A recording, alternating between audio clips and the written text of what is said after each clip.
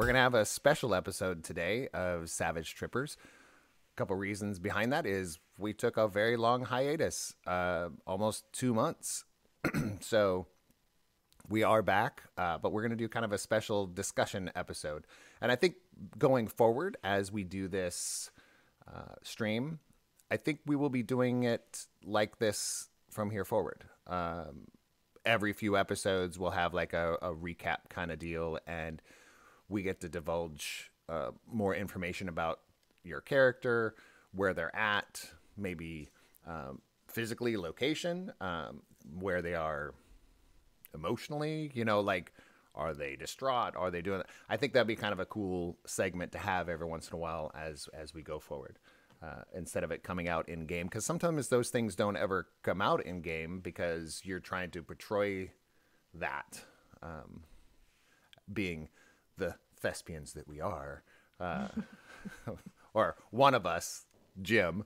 Um, you know, so we want to yes. Uh, so I think we want to divulge a little bit more into the game here. Um, so I think as we go forward, we I know Michelle, aka Switch, uh, was ready to do a recap of last last oh. episode. Yeah. So I feel since she was ready, I say let's just let's just have it. Let's just have it. I did this crazy thing. I wrote it down. I wrote it down. So, um, okay, recap.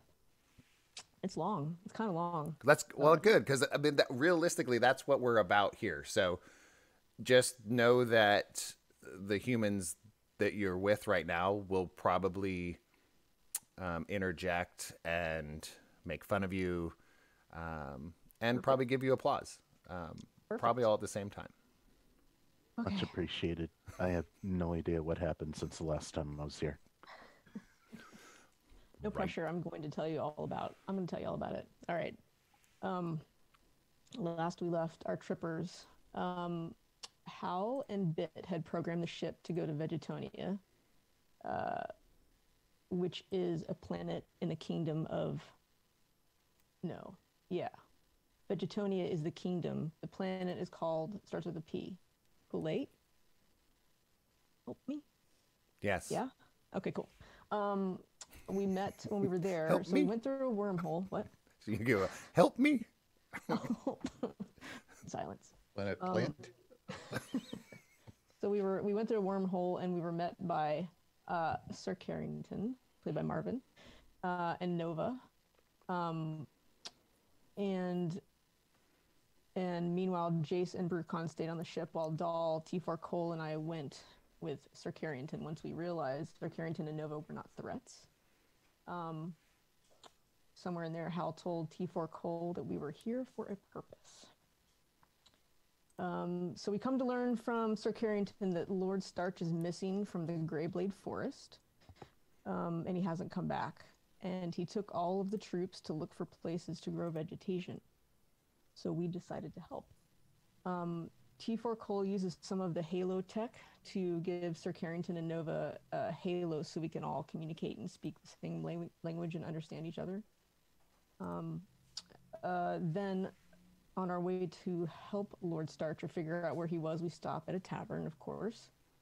Um, we of talked course. to some patrons at the ale house. We learned from Tilly that Lord Starch was carried off. Something about uh, uh, orange warlocks. Damnable orange warlocks. they sound bad.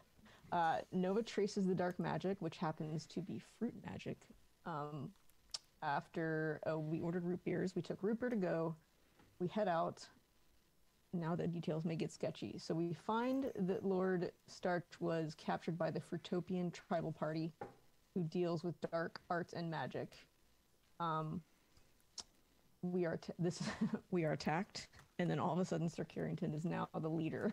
That's where the notes trailed off. what did I miss? I think he was lorded by Lord Starch. Lorded. I don't know exactly what the word is, making someone a lord. Lorded. Good lord. It's not knighted. No, he, he basically gave up um, his kingdom to to Sir Carrington. Kingdom for a carrot. Yeah. yeah. he dangled a carrot, um, and Carrington took it. Uh, Yeah. Reason being is he, he felt he was inept. Like if he can be let off that easily, um, that's where what happened to Sir Carrington. Um, So yeah, Well, that was. I- Go ahead. I um I realized that I I must have missed more than my fair share of episodes because I don't know who Sir Carrington is. He's a carrot.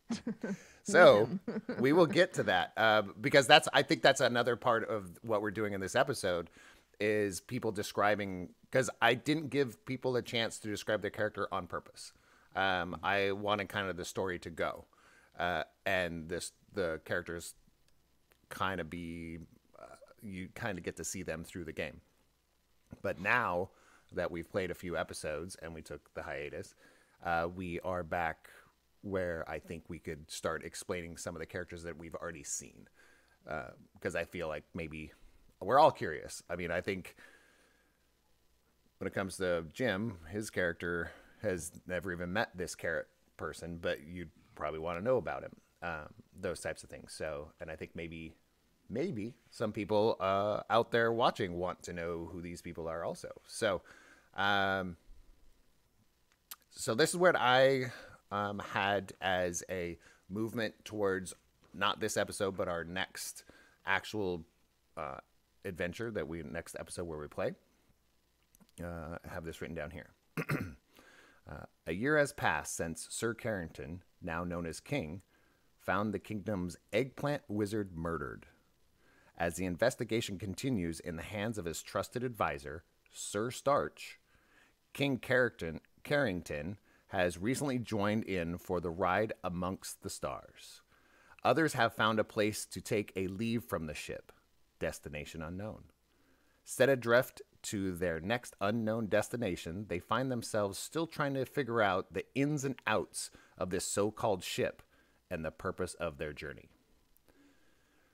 So that's where we're kind of coming, where we'll, it, there'll be like a year gap uh, where you guys have actually done some adventures together and those types of things. So as we go forward, um, I would really like for us to discuss our characters, and then we'll move on to um, some things that I want at the at the end, where you guys can kind of change some things. Okay, um, if you'd like. So, uh, since the first curiosity was about this carrot dude, um, Marvin, why don't, why don't you tell us who this? I'll see if I, I can pull up kind of your not really your stats, but at least um, let's pull him up, Carrington. There. So if anybody's curious, it uh, I'm just putting up your hindrances and your edges uh, up is on the screen now. Uh, so go ahead and describe. You can describe your background, the planet, um, basically the backstory that you've kind of written in there. Only tell things that you want people to know, though. That would, Okay, you know, okay. Well, to start off, as you may know, Sir, Sir Maxwell Carrington, his full name, is a carrot knight of Vegetonia, specifically of House Starch.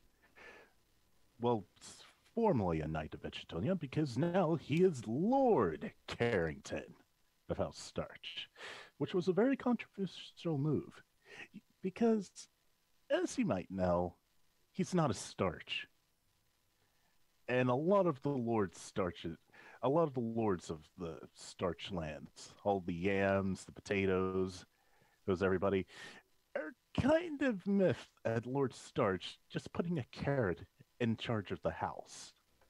And it's like what exactly was he doing? Hmm.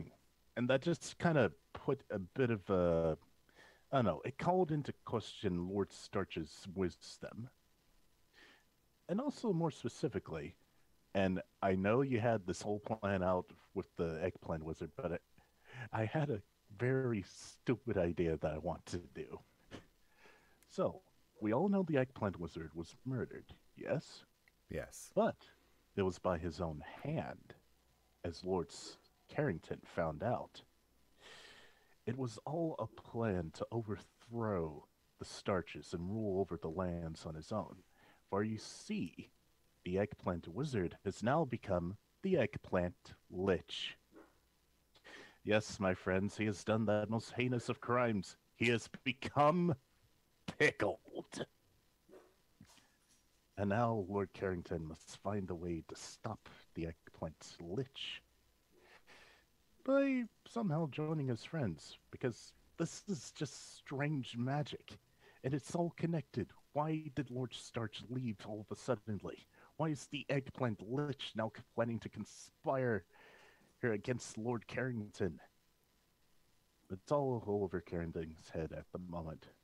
So, he's put in charge one of his most loyal retainers, and it's gone off with these fine adventuring folk to f- hopefully find Lord Starch, stop the eggplant lich's machinations, and figure out what the heck is going on. And of course, he's doing it with his trusty steed, Sydney, an aphid. Yes. Oh my god. Okay, so there's what you're you're challenging me now because um, I had a story going on in my brain with some other people. And I fucked it up. Yes, and I love it um, because it just adds more dynamic. So um, that's kind of how I love to play these games: is throw me for a loop and then let's roll with it. Uh, so yeah, that I'm interested in that. Uh, can you describe uh, what your character looks like? Right. So, Sir Carrington is, of course, a carrot person. Um, it's not exactly a humanoid carrot. Think of the carrots from like Veggie Tales or something. Carrot, arms, legs, but also in plate armor, holding a lance, and is also riding an aphid. Side And I know- saddle. Side saddle. So Yeah. side Yeah, we, saddle. we made sure it was side saddle because you didn't want to split the carrot. Nah, there's so no he, way he could rides side saddle. Yeah. So yes, and also an important thing in all the fruit and vegetable people of Vegetonia, while they may seem human sized on their own planet when you guys visited that one time, when Sir Carrington is aboard your ship, you find out that he's the same size as a regular carrot. It only So- comes up to about e big. like like the original size of the GI Joes, like Pretty much, yeah, like a little bit bigger than a Barbie. so uh, But riding riding an aphid. Yep. So I Uh, don't know why I made the aphids the horse analogs. It just Hey. kind of makes sense to me. But that was the planet that that's your planet. I was like, these, you don't know any different. That's just who, that's your planet. Uh, so yeah, that's Are ladybugs like the apex predator for the aphid for the aphids? Kind of. Ladybugs are pretty much menaces on veg- in Vegetonia. You wouldn't think so, but they're just vicious little things. So yeah. I I love the backstory of, of that. Even when you submitted that character, I was like, what the crap are we gonna do with this? and I was like, I had a stupid idea that I wanted to do. I was like, And let's go did it. for it. Uh, so now it's become um, a, a pivotal, not a pivotal, but a pivotal moment. A character that um, is going because uh, realistically, Marvin, you were going to just pop in once in a while, and you're like, screw this, I want to play my carrot guy. so we're like, cool, come on in, and so we go from there. Um, anybody want to know more about this carrot dude or the background of it? Because I think I have his stats up here on your basic stats. Um, can you give me because because I have Sir Maxwell Carrington right here. Um, when it came to your basic attributes, did you have a reason behind putting those together, or um, or you just like, hey, that fits somebody that'd be a carrot? I wanted to do like someone who had the heart of a knight, you know. So someone who was good at fighting, but also had a bit of knowledge in healing, persuasion. Someone who knew his way around the courts, you know. That makes sense. So it was more of a, a knight thing than a carrot thing. Pretty much. That's Though cool. he does have a hatred of fruit.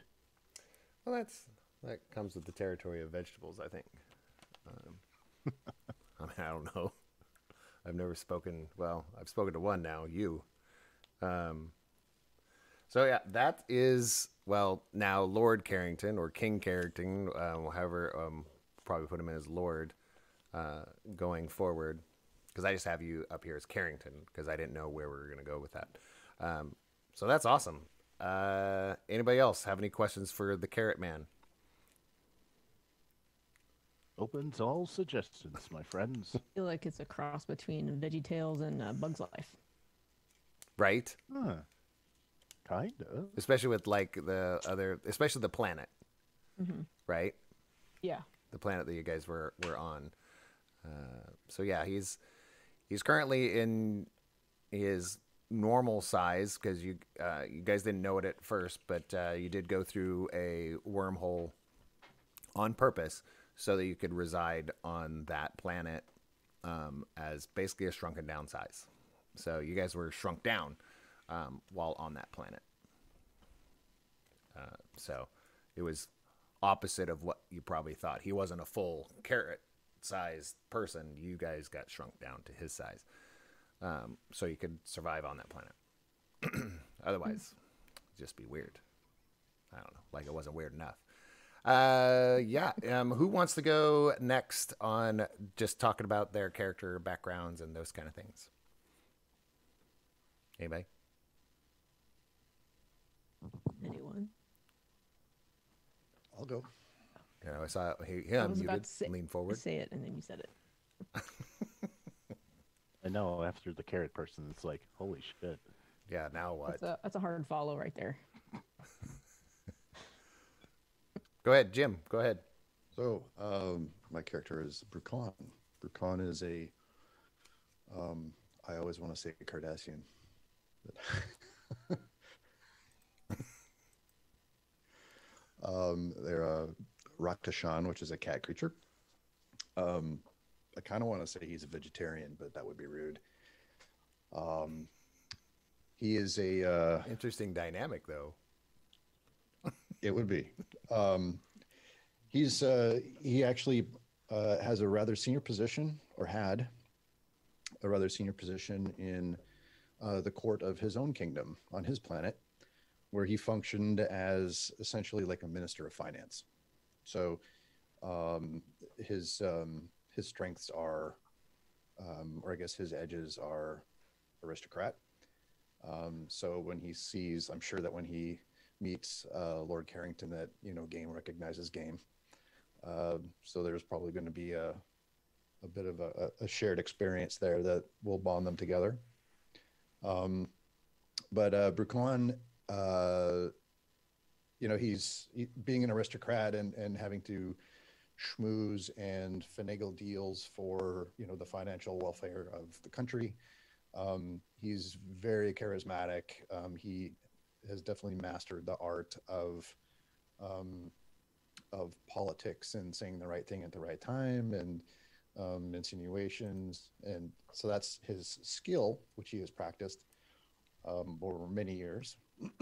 However, uh, he does not react very well to personal slights or uh, any sort of outward rudeness or um, being lorded upon, I guess you could say. Uh, and he tends to hold grudges for a very long time. And when he gets the chance to enact some some bit of retribution, he does so ruthlessly. Um, he, uh, I mean, that's the the basic background to him. Um, he kind of tries to maintain that air of um, refinement and elegance and education. Um, you know, he thinks about, he tends to observe. Uh, when he speaks, he chooses his words very carefully.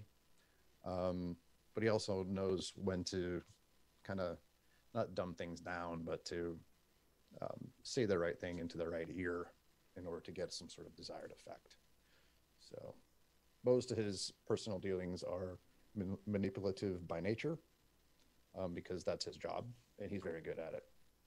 Um, so, developing any like close personal relationships um, is something he hasn't quite figured out because he just can't turn off that side of his brain where how can I make this work for my advantage? So, so that is Brucon. What's it? I mean, when it comes to your looks, the Brucon, what does what does Brucon like height look like? Height. Wearing Um, he's most of the time. average height for his race. He's not particularly physically impressive. Um, is uh, he's basically gray fur, like all solid color. Um, he, uh, um, you know, he looks in good shape, but he's not, again, not particularly remarkable. Um, through, uh, you know, through some of the, the the first episodes on the ship, um, people may have picked up on the fact that he, uh, despite being, you know, having a, a, a innate uh, agility that is, you know, very uh, characteristic of his race, he's not particularly fast. Um, he kind of ambles about, and he's, you know, maybe the mentions of his leg bones are not quite right, so he's he. Uh, you wouldn't want to try and uh, rely on him to be quick about certain things and far, as far as like covering any great distance. But uh, um, yeah, otherwise he's you know just uh, dressed very not necessarily ostentatiously, but finely. You know, he believes in the quality of the clothing and you know that um, whatever he wears, even if it's modest, that it be that it last and tend tend to pay more for those things. So he's definitely likes to look fancy and be clean. I think that's what I- Yes, we have. We've kind of found that through Yeah. story is like, mm, I don't. He doesn't like to be dirty, and does like to look good and be very presentable. Um, so it's it's been cool to to see uh, that character kind of move along a- and try and be in like this haphazard ship um, and the dirt and grime and yeah, it's been that's been a cool dynamic for me to watch uh, you do that. yeah, it's it's very much uh, you know with with all the different things that were happening at the early stages, you know, trying to kind of make sense of everything, uh, pay attention to the details, but then also in the back he's kind of just gnashing his teeth at just kind of the the uh, not gross. He's not grossed out. It's just kind of the you know the the dinginess of Yeah, everything. why is everything It's just- sticky? Right. It's like, is there nobody to clean? You have time to lean. You have time to Yeah, clean, we've my had friend. this- yes. Uh, so uh, that's been kind of cool, and I, I think as we um, we go on on especially this episode today, um, we'll get to work some dynamics together um, as we kind of build this world together. Uh, and that's why I was I we will go over um, just to give it well we'll go over a little bit of some of the characters that are not here today, uh, but your guys' kind of take on those characters also. So uh, next one, uh, let's go with uh, T4 uh, Cole here. T4 Cole. Um, T4 Cole is a mixture of two characters that have been kind of mashed into one. Um, and, and it's kind of the soul inhabiting a different body um, due to a, an event where the, the internal core of a android is completely fried essentially um, but the entire body of a human that they were kind of a pair beforehand um, is also dying as a result of this. So they get mashed together into this kind of six foot tall, um, very security type looking droid um, that is T4 Cole. Um, T4 is the original name of the android, and then Cole is the original name of the individual uh, outside of it, and they've kind of been mashed together. So um, as well as since it's a security robot, it doesn't really have a, a vocal pattern that makes sense to humans. It doesn't have that dynamic range or ability to produce noise in that way because it's not a droid that's meant to talk. It's a droid that's meant to keep things safe. Um, so learning how to overcome that boundary has been a, uh, one of the things that I think would be really was interesting for me to to bring into this um, and for to like create that dynamic that if you aren't handed a device that will let you listen to it or you're not another android that can already talk the lingo it's it's a lot of beeps and boops and whirs, and it doesn't make sense outside of that. Um, I think another thing that'd be really cool moving forward, if I if I can nail it down in time, um, would also introduce ASL or some sort of like sign language type thing into his repertoire, since he does have functioning hands. Um, as another way of means of communication for him. So, um, but he comes from a, uh, a sci-fi background that I've I've left kind of purposely not fleshed out yet um, to to help fill in as needed in, in the background. I know that um, T4 did T4 and Cole before they were connected initially uh, worked on a ship with uh, both Switch and uh, our other android friend that I'm blanking on the name of, unfortunately. Jace. Yeah. Yes, Jace. Thank you. Um, before all that, before I think, I think before Jace was activated, since Jace believes he is human, um, and then with Switch for a while, and then both of you guys got lost in that ship, and that's kind of where we've been working out details on that. So, but he's been a lot of fun to play. I'm excited to bring more, bring back more character dynamics between all everybody, and get to like know both Carrington and Brucon a little more because I have I have a pretty established history with Switch and Jace, but outside of that, I'd like to build dynamic interactions with everybody else. So And I think that's what um, there. That's another reason why I was kind of gonna fast forward. Um, Mm. uh, you know, kind of not for the fast forward, but you know, skip kind of a, a year. yeah, Since we went on hi- hiatus, anyways, I thought it'd be kind of cool to put those dynamics in there. But like when when Fen, when you came to me and said, "Hey, I, I'm thinking about a mute character," and I'm going, "Uh, it's a live stream for entertainment."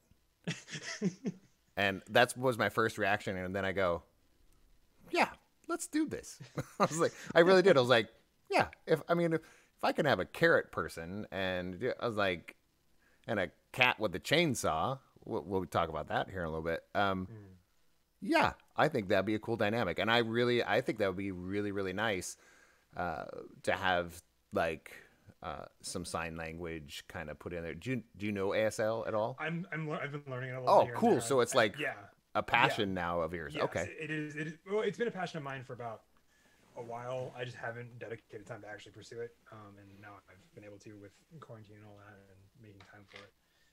Um, That'd be super cool. got- I'd love to see a character that actively does like sign language. That'd be super cool.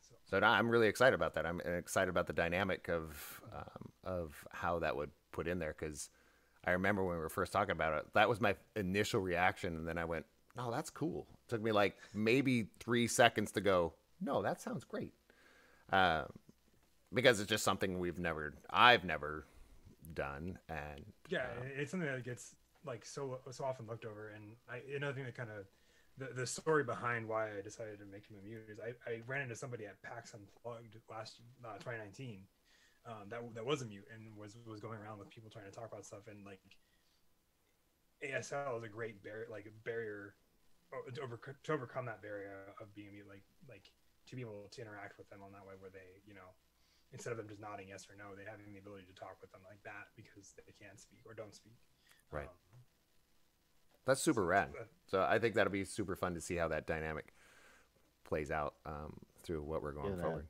that sounds really, really cool. Fab. Yeah, and what what does T4 like currently like? Could you describe what um, T4 Cole looks like?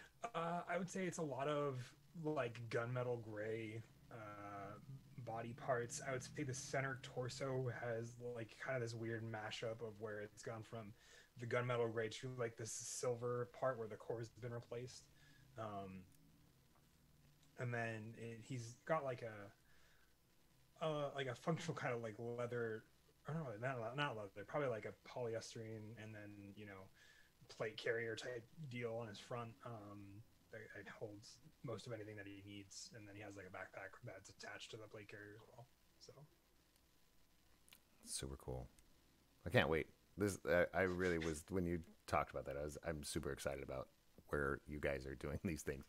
Um, so, uh, uh, our full, uh, fourth and final one that we'll discuss actively. Um, Switch, Michelle, let's let's hear about this this character here. Oh, Switch. Um. Uh. Well, Switch is a droid, um, and I kind of modeled them after all of my favorite droids of all time in media because where else do we pull our influences from? So, like, I made a mood board that's got everyone from Dolores to Trinity to uh, Motoko, all of those things uh, in it. So I, um, yeah so that's kind of what what they're modeled after but um i kind of wanted them to be uh kind of a badass um uh shotgun wielding human acting uh droid that is aware of aware of their droidness but um doesn't outwardly express it because there's a huge sense of loneliness that comes from um being a droid to them in particular. Um,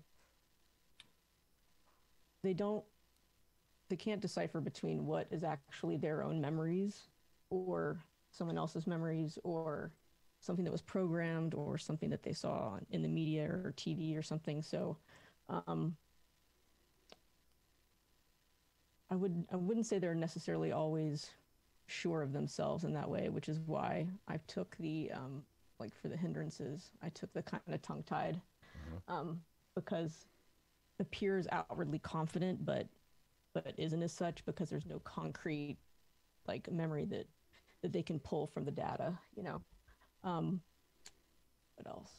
Uh, I would say they're kind of well in relation to T4 and Cole. They're kind of and this just evolved from playing. Like I tried not to go just like fenn said the same thing. I tried not to go too deep until we saw how the interaction went. But um, uh, newer model than T4 and Cole, but has that connection with them. Um, kind of ended up being kind of blunt and curt with everyone. Like doesn't doesn't really have a filter uh, whatsoever. Um, uh, let's see what else. What else? What else? Uh, name their shotgun Delma. I'm trying to think of what else. Uh, Um, what about what um, how what Switch looks like? Like Oh, um, I made them really tall, um, about five ten. Looks relatively human, um, relatively slender. The only distinction that you would know that would make them a, a droid would be the left, completely left arm is robotic. And I was the picture I pulled for that in my brain was like Johnny Silverhand from Cyberpunk, like that kind of arm. So, yeah, mishmash of all my favorite sci-fi stuff and robots. So, yeah. I think that's uh, one of my favorite things to do. I mean, realistically, Yeah. is just pull from. If I took this Yeah. movie and put it in this movie and this character and this, uh, I think that's where why we play these games, right? So, Mhm. no, I was very impressed with like the idea of your character, um, just coming in as as a non-binary um, Mhm. droid, because you're kind of like, realistically, why would a droid be binary Yeah. anyways? what is gender anyway? you know um which is to then it was i think i did a running joke at the beginning with you is like a nine non-binary binary. that's Yeah, binary right. because i mean it's like because you're a droid so realistically you are ones and zeros uh-huh. at your core but yet you're non-binary so i was like oh that's Yeah. kind of I think I play. think it's a it's not a hard fast um yes or no or male or female or any of those things. There's a lot of blurred lines. I think that's what makes up their character because they're so confused about what could potentially be real. Anything could be real. So right I think I'm going to continue to kind of explore that and their interactions with other people, which Yeah, I'm thoroughly enjoying. Like I love the connection I have with Jason and T4 and these newfound carrot friends and um, making fun of the the cats, which I didn't intend, but it just kind of came out. So no offense or anything. It just well and that's how our episode i think our whole series started, Started. was a cat and droid adventure uh which was super cat cool and a droid walk into a bar. Yeah, let's do it. Um, The other one says duck. Uh, so, Not make fun of teasing, I should say. I should correct myself. Yeah. but as you were mentioning, it was like you're talking about your closest with T4 um, and Jace, um, who Jace started off, um, and I'll even put Jace's stats up here. Um, his little so up here. Uh, Jace is also uh, a droid uh, that doesn't know he's a droid, just thinks he's smart, learned, read, has a bunch of books. Um, so I'd like to go around. I mean, I don't know who whoever's played with the character, played opposite the character uh, of Jace, but I'd like to hear your guys' take because I know Switch. You kind of started off saying, yeah, the the camaraderie, and then I know T4 Cole has some camaraderie there, and then Brewgrounds had some interactions there. So I mean, I'm not just saying this, but everybody. I mean, we all have. We've all like bonded and made good camaraderie for. yeah, so I just thus far. Jace will be uh, kind of our first one because you mentioned him. Um, Yeah. Then we'll go on to the uh, couple other characters that have shown up and, and come through. So uh, let's talk about Jace. I mean, Anybody? to me, Jace seems like the bases everything in logic, or not. It seems logic, but all he talks about is his library. he's has a. It seems like he's got a clear intent uh, program to follow. Hmm. You know, I definitely think like it's the I, I love the dynamic that he believes that he's human because of where he started, where he like kind of woke up, and where his memory kind of begins. Um, and I love that that he is um, bases everything in logic, based in the library and his books, and you know we don't see the books, but they're there, um, and they're definitely stuff that he has because you know he. Um, leans very heavily into like the logic and reasoning behind those books. Um, I love that dynamic. I love that that's that, grounding in reality that, while still kind of fantastical in its own way, um, is grounded in like the the co- like the truths that exist. So Yeah, I was I always thought it was, it was it's interesting in that he he doesn't seem to have an intuition about anything, right? He's like, you know, what should we do? It's like, let me look it up, you know. so, and that's just complete the lack way of he, common sense. Yeah. the way he interacts with the world is um you know he doesn't really you know he he, he learns from his experiences but he doesn't really uh extrapolate you know and i think his default mode is well let me look and see if somebody else has done this in the past and what has happened. Um so he, he tends to trust his library more than his own intuition uh, if there even is one. But, and so it, it's kind of interesting. I really, I mean, I, that was my interesting part of that too. Is like his belief system is, I've got to look it up and research it. Um, but when he goes into the the those books don't exist, he he has that knowledge in him, but he doesn't believe in himself enough to Yeah. to take action or, or go, oh, this is what we do. Let me go research it. I don't know. Let's see if somebody else. And then he really defers to himself, uh, you know, which is, a str- I think that's a cool, uh, realistically, it's kind of like us as human beings making decisions. We need that validation also. Right? It's like, oh, I, I don't know if I should do this. Let me let me ask so and so that knows more than I do. But really, on the inside, you've already made the decision. You already know what to do you just need that validation so he gets that i feel this is what i see is he gets that validation through his books um, which are really just his knowledge Yeah. To, me, the, the perfect analogy is um, if somebody asks you, you know, quick, what's the letter that comes after P? And it's like, all right, A, B, C, D, E, F, G, H, I, J, K, L, M, N, O, P, Q. Q. Q comes after P. right That's the only way I can know what letter comes after another letter is I have to actually go through the process of getting to the letter. And it's, you just don't know it. You have to get there. And to me, that's that's what he does. Is he That's just doesn't know it. He's like, I have to go look it up. It's like just my first reaction i need to look this up uh, so i really i really appreciate um, uh, how he puts in there um, anybody else have any takes takes on jace He sounds like a very learned person, just like the great onion steers of Vegetonia. I can't keep up with you, Marvin. I just I can't. So I make up all of this. I know. on- So me trying to get your the lore of that planet and your character, I'm never going to get it right. So I will always defer to you and your books. Uh, so uh, let's let's if uh, when it comes to Jace, if nobody has anything else to add, um, we'll go. Um, let me pull up this other one. Uh, I just want to find the the small stats here. Um, I'm going to go ahead and change it over to this one. So let's talk about um, our short uh, meeting and interaction with Taswoop uh, from episode one. If you guys, I think it was episode one, right? Yeah, Taswoop was in episode one. That we haven't seen Taswoop since. Uh, played by Ryza, Ryza's character. Uh, do you guys remember Taswoop? Yes. Um, I feel like Brukan would. I think there might be one word Yes. for to swoop. Chainsaw. I'm not wrong. No, that was uh, to no, Taswoop. that's doll. The doll. We'll get the doll. Doll has the chainsaw. Doll with a chainsaw. Oh, I thought it was. Uh, okay.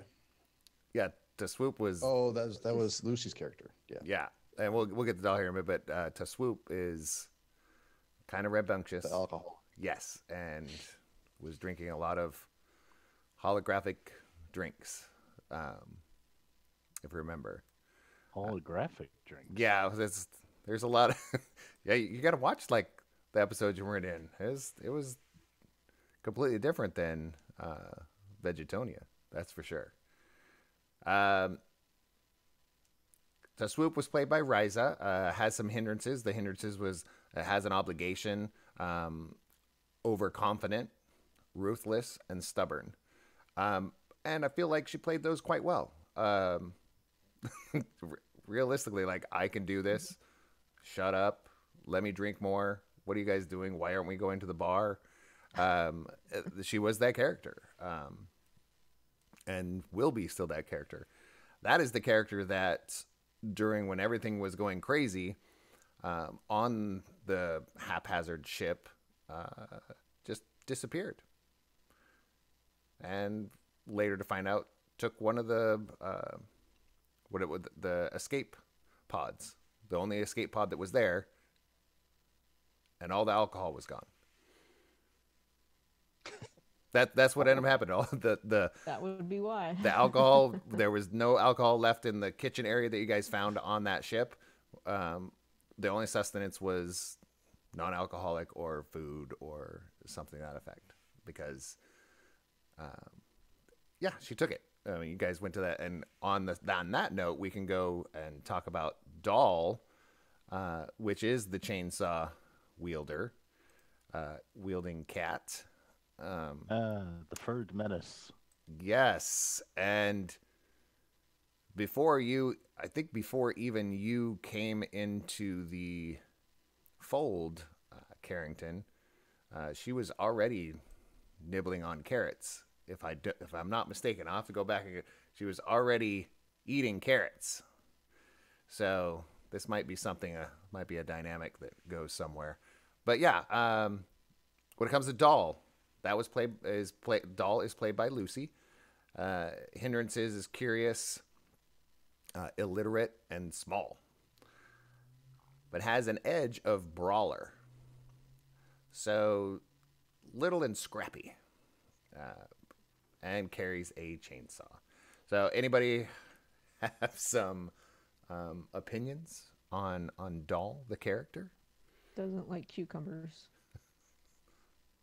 She's a cat. Nobody likes cucumbers. Fair. But you- Rational fear of cucumbers. So yeah, um, Carrington always calls her the furred menace, yes, mostly because on his planet, furry creatures like rabbits and stuff like that are monsters. I know, and you didn't get to see a vegetables. and that yeah. But he So- knows at heart. Stir with a chainsaw. And I mean, Yes, that's especially concerning. That contraption. What was it that you called T4? A chainsaw? Chainsaw.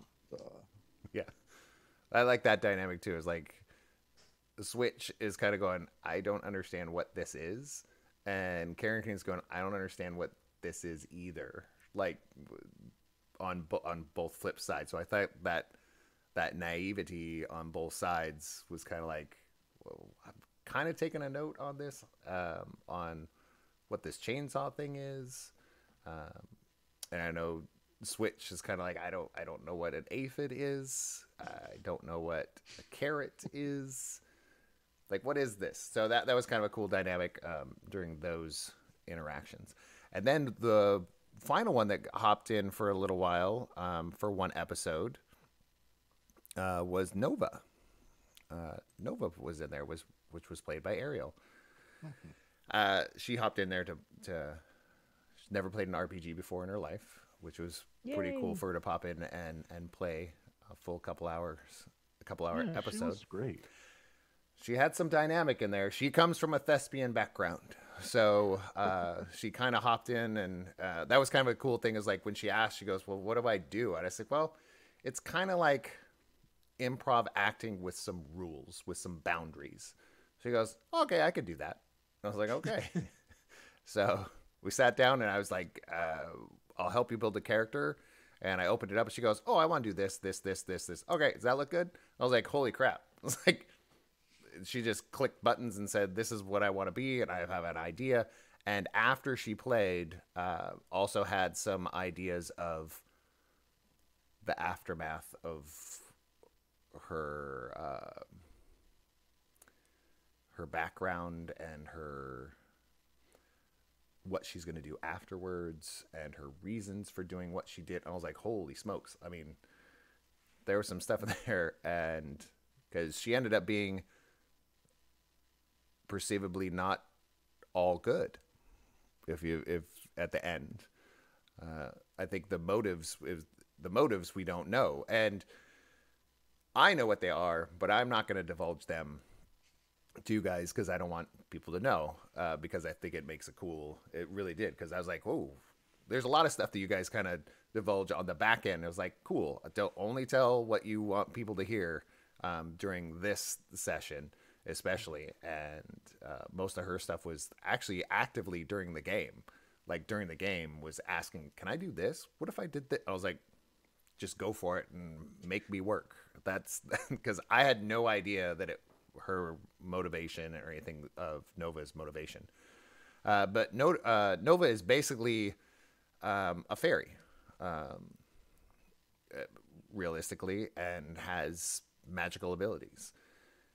And I don't know if I won't divulge um, what she was carrying if unless you guys saw it. I don't remember it in the battle, um, but she flies around with a little wand and um, is decently aggressive, and I th- wings. was a cool dynamic. I thought it was a pretty cool dynamic. Had the, our magic, it was the, our first like, and maybe at this point our only uh, like magic wielder in a sense. The only person I think I've seen in our in our group that has leaned heavily into the magic realm.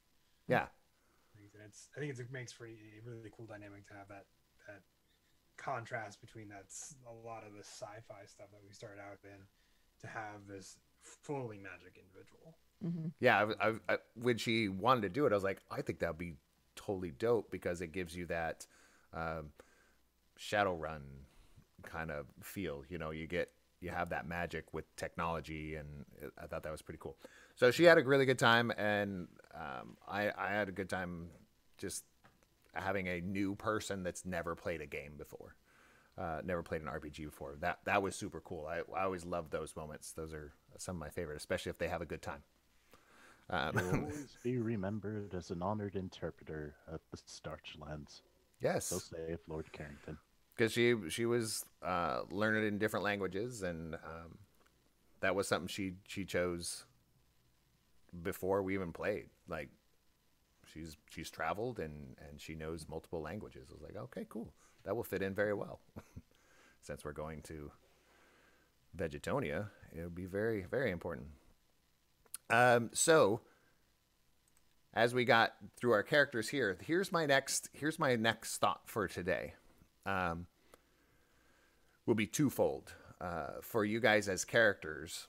Did you want to change anything stats wise for your characters um, going forward? Because if you want to do that, go ahead and do it. This is your last chance to do it. Uh, because realistically, I'm thinking at the end of because this arc isn't over, uh, but once the arc is over, that's probably when we'll do uh, like giving you guys a stat boost, and we'll I'll I'll decide on what points I'll give you to kind of give you some more stuff. Um, because normally in Savage Savage Worlds, you kind of you can get another uh, like a points to spend for your attributes or something that effect um, is what you get, so you can actually bump up your die. Uh, we'll get to that at the end of the arc. But here, did we want to change any stats or add some stats, move something around? Because I think the only thing we did for the first three episodes was I know we added hacking. We swapped out um, hacking for T4 Cole. And I think that was pretty much the only stats across the board that we talked about. Was there any yes. other ones that you guys had thought about? Carrington or Marvin? Yeah, I wanted to change like a couple things with uh, uh, Sir Carrington. Not a whole lot, but I wanted to put like riding at a D8 because I feel like he's going to be riding around on his aphid steed a whole lot. So, oh, instead of the D6. Now, where would you? Because right now you're currently in your skills have a riding of D of a D6. Yep. Now I you'd have to, to take something from somewhere else, right? Yeah, and I know I took it out of something. I'm just not too sure what okay. it was. It was a D4 somewhere, I think. Maybe a knowledge? Common knowledge? You'd take your that... so you'd go basically to no skill in common knowledge. Nah, which might common. make sense. I mean, you're going to be hmm. a carrot on a ship. Yeah, it's common knowledge in Vegetonia. Okay, because I'm like everywhere else. because I'm sitting here like, uh. yeah, that would. Just let me know because I I know it, if you want to bump yours up to to a D8, um, we can adjust as long as you're adjusting stats wise. But yeah, these are kind of this. This is going to be our final before we go into our next where you can actually just change those things. So I was giving everybody like a few episodes to kind of figure out the system because none of us have played this system before. And is there like a flaw that's like small? I think you mentioned for Lucy's character. A flaw? Yeah, something that's like denotes him as, hey, he's very tiny. You, a hindrance. Yeah, you yeah, have a hindrance. You have a hindrance. Um, and what's cool about hindrances is like when you take a hindrance, it it hinders your character in one way, but you gain the capabilities to add something else. Um, so in your character, I'll just pull up his your basics right here. So right now you have an edge of aristocrat um, and beast bond because of your of your animal there, but you have code of honor and enemy um, for your hindrance. If you add another hindrance, that's how this system kind of works. Is like if you add another hindrance, you may get the capabilities. Find a hindrance that will give you the capability to add to bump up your skill. Mm-hmm. See, that's how these hindrances and stuff work. They kind of let they balance themselves out. So you could take like 20 hindrances if you built your character, um, if you really wanted to. Uh, but it would give you certain things you could spend in different areas. Um, yeah, found it. Uh, minor hindrance, small, size and toughness are reduced by one. And what does it give you? Uh, because you're putting this as it'll like, oh, you know how you can now add this. Um, so put that in there and then see if you can find something that. What's that? Oh, I was going to say, uh, as far as the hindrances go, I thought um, if you took a hindrance um, you can make it either a minor or a major hindrance. Right. Yeah. And you can, if you get a major hindrance or two minors, then you can you can uh, pick an edge. Uh, right, and then if you Yeah, and if you find an edge that gives you, you know, uh, find an edge that would give you uh, something in riding, and it, it you know, Right. f- you know, would bump up, give you the capabilities to bump up your riding skill. So that would be something you want to look into, so that you you would balance your character, um, but also not have to maybe not rob something from common knowledge or something else. You could just kind of add a hindrance to do that. So yeah, take take me that before our next uh, adventure, and then we can go from there. Yep, all work in progress. Yeah, uh, but this will be kind of our last mode before uh, we actually can't change our character because after this arc is over, um, spoiler, well, I'll be giving you guys a bump, right? Because it's kind of like leveling up. Uh, and I haven't really figured out what I want to do for the bump yet, but um, I'm sure it'll be some sort of point expenditure, um, those type of things. Uh, so that was one thing I wanted. You know, anybody else want to discuss anything about changing your character stuff? Stuff. I'm good with where T4 is. I think the hacking was the only thing that made it sense to change, but after that, I think he's Yeah. solid. Cool. Yeah, I feel the same. I kind of want to stick with what I got and play that out. Cool. Well, then the, the and so the last thing that I wanted to do was since you've been, we're jumping ahead a, a year. Um, you guys have kind of done some adventures stuff and things and and um, think about what those would be um, actively you know you can come up with those kind of things. But what it would directly affect would be this was kind of a crappy haphazard ship right? So over the last year within reason what do you guys think you would have done to the ship to upgrade it make it more comfortable those types of things. That was kind of my my last thought here for this session. How it is when we started this, it's just a bunch of like seats and a bunch of shipping containers strapped together, right? Yeah, it's it's yeah it's, it was a bunch of chairs in the middle room um, where you could basically jack in right? Um, kind of like matrix-ish you know put in the back of the, the skull there um, but not as deep but and then Oh, then I in the middle it, of the room there was chainsawed chairs left there. Um, and there wasn't a lot of visibility to the outside.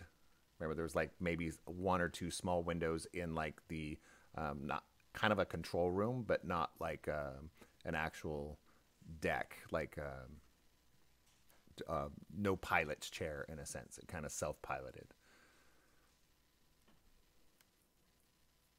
what do you guys We feel probably- you'd want to have that ship mm. have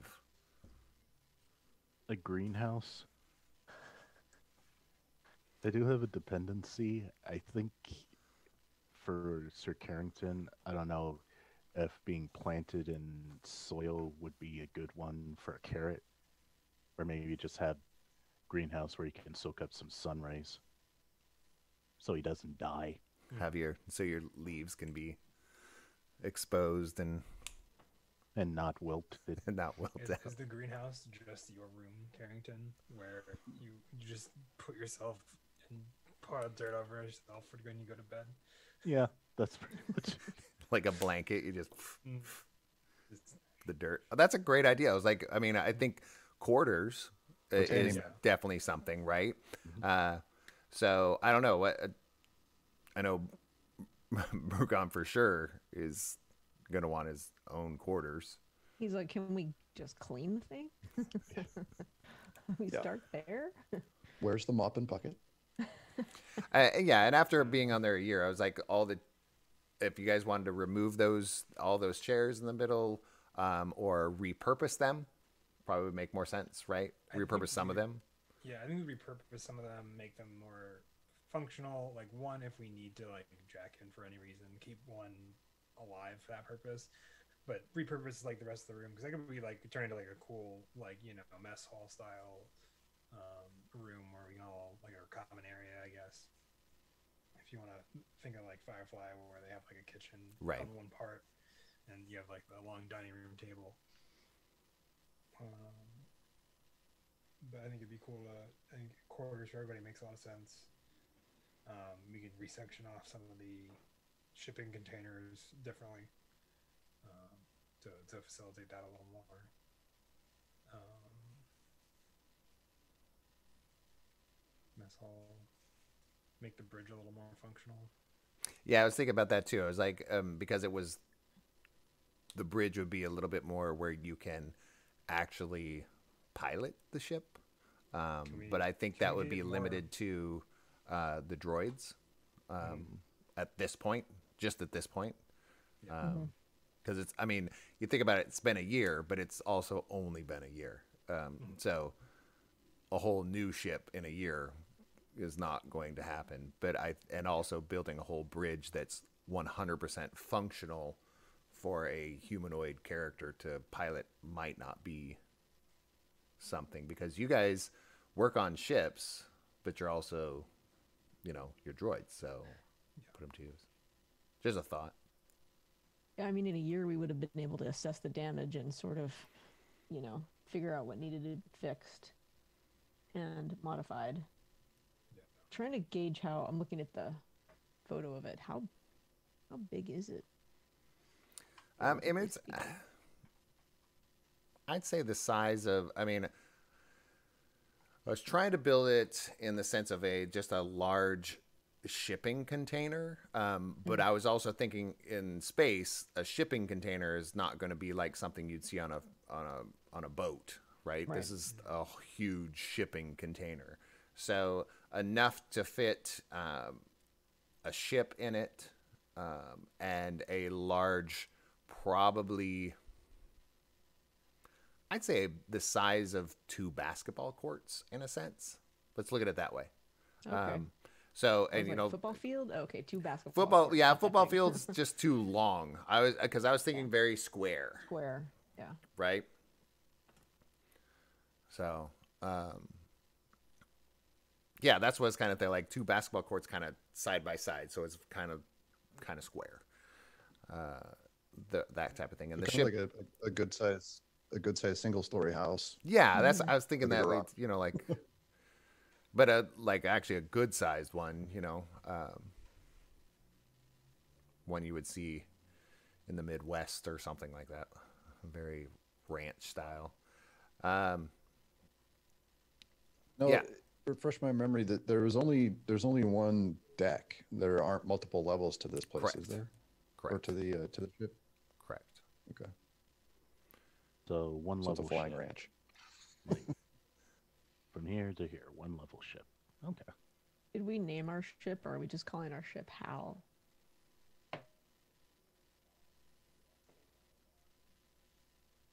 Because Hal Thoughts? is the ship. I mean, the AI is still there. Okay. Okay. Rocinante. Wait, your vessel talks to you? Doesn't yours? Oh, you oh, wait. you will you'll experience that uh, character in our next episode. So many strange things out here. I'm just getting used to the metal But the- people. And if we if uh, we call him metal.